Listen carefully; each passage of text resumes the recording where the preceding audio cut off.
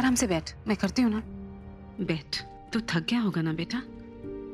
Office का काम ऊपर से घर में इतना सब कुछ हो गया है ना? काकू सर। हम्म,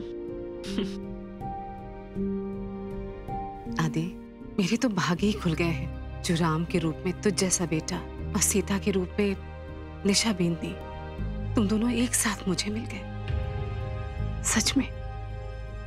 कितनी अच्छी तरह से तुम दोनों ने इस घर को संभाल के रखा है। अरे शारदा भागो वाला तो ये है। हम ना होते तो उसे निशा जैसी प्यारी सी बीननी कैसे मिलती हम्म?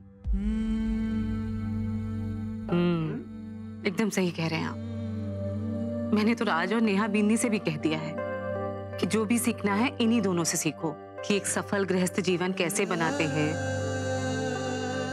और शादी के इतने सालों बाद कैसे एक दूसरे का साथ निभाते हैं सब कुछ। इन्हीं दोनों से सीखना चाहिए। आदि बेटा। जी माँ। निशा तुझसे कितना प्यार करती है। ना कोई झगड़ा ना कोई तेवर ना कोई नखरा कुछ नहीं। सच में तुम दोनों ने मिलकर कितना सुखी जीवन दिया है हम दोनों को। तू ना मेरा बहुत प्यारा प्यारा प्यारा सा बेटा है। लेकिन सच कहूँ निशा बिन्नी ना मुझे तुझसे भी ज़्यादा प्यारी है। जाके कह दो अपने काकू माँ और अपनी काकी सास से कि तुम्हारी बीवी कितनी बड़ी शैतान। शी इज़ अ डेविल झूठ बोलती है। बहुत बुरी है। Come on Aditya. I am waiting for the day when you can be a man इसलिए भूल से भी ना उसका दिल कभी मत दुखाना। देखना उस घर में सबका कितना ख्याल रखती है। माँ। हाँ बेटा। अब आज का सारा प्यार आदि भाई को ही मिलेगा? या मेरा नंबर भी आएगा? इसका कोटा खत्म हो जाएगा तब तेरा नंबर आएगा। तब तक तू यहाँ बैठ जा चुपचाप। मेरी खुशकिस्मती है कि ये लोग मुझे मिले। कैसे संभालू सब? कैसे बिगड़ने से बचाऊं?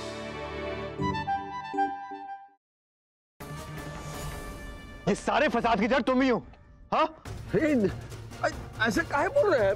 हाँ, हमने कुछ कुछ नहीं किया है भाई। हम हम तो एक काली के कहने पे नंदू को नैना का धर्म पिता बना रहे थे बस।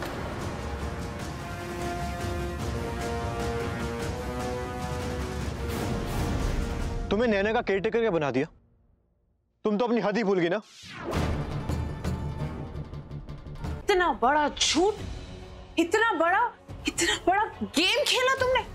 आई मीन उस बेचारी निकिता को फंसाने की कोशिश की। हाउ कुड यू तुम्हारी वजह से मैंने, तुम्हारी वजह से भाई ने उस बेचारी पर शक किया। तुम्हारी वजह से वो जेल गई। तुम्हारी वजह से एक इनोसेंट लड़की जेल गई। और इसकी वजह से सिर्फ़ तुम्हारी नहीं उसकी नहीं, हमारी पूरी कंपनी की बदनामी होगी। How could you how dare you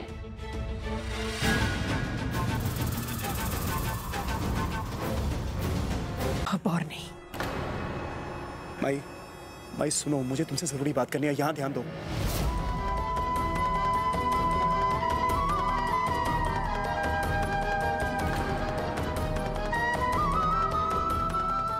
माई यहाँ ध्यान दो, मुझे तुमसे ज़रूरी बात करनी है। विश्वास नहीं होता, सत्या मम्मा मुझसे इतनी नफरत करती देखा तुमने? अरीना को माई समझकर कितना परेशान कर रही है। मैं इतनी बुरी हूँ सत्य तेरी शादी में इच्छा से।